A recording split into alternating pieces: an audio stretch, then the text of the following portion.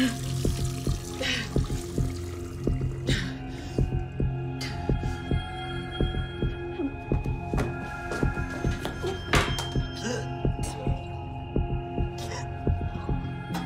te enfades con ella, Wendy.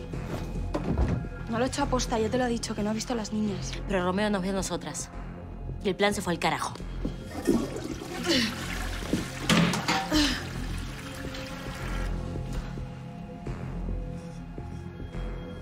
No lo entienden.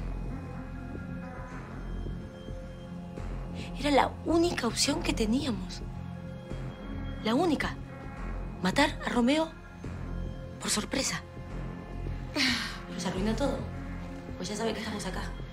Y va a mandar a sus sicarios a buscarnos y nos van a encontrar.